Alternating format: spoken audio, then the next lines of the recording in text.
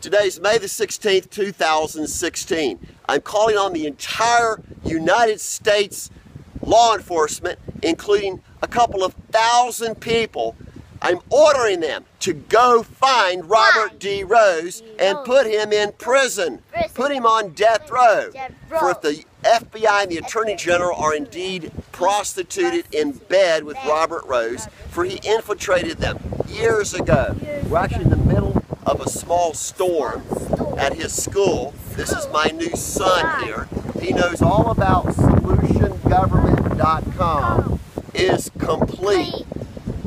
And Unity URL is how the, the solution set of builtbykeith.com will save your lives and prevent the destruction of humanity.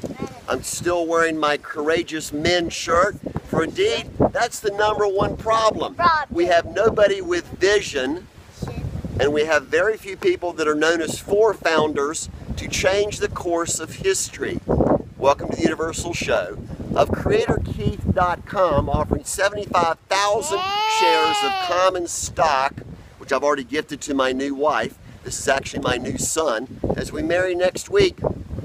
Welcome to the Universal Show of all of SaviorKeith.com.